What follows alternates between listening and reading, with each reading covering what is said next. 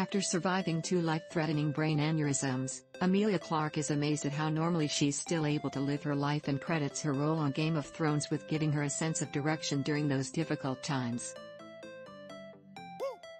The actress addressed her recent health setbacks in an interview with the BBC's Sunday Morning while promoting her West End debut in a production of Anton Chekhov's The Seagull at the Harold Pinter Theatre.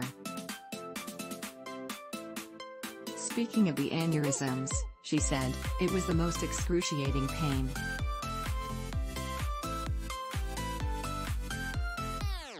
It was incredibly helpful to have Game of Thrones sweep me up and give me that purpose. Clarke suffered an first aneurysm in 2011 between seasons of the HBO show and the second in 2013, both of which required lengthy recovery periods in order to address the brain damage.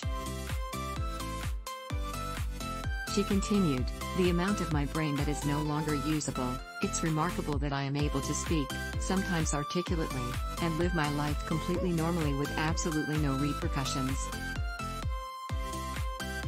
I am in the really, really, really small minority of people that can survive that.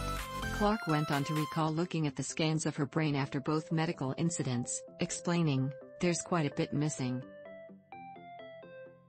Which always makes me laugh, strokes, basically, as soon as any part of your brain doesn't get blood for a second, it's gone. So the blood finds a different route to get around, but then whatever bit is missing is therefore gone. Since this harrowing experience, Clarke has founded a charity for brain injury and stroke victims called SameYou. But she noted that after her aneurysms and rehabilitation process, she's also learned how to accept herself just as she currently is. She explained, I thought, well, this is who you are. This is the brain that you have.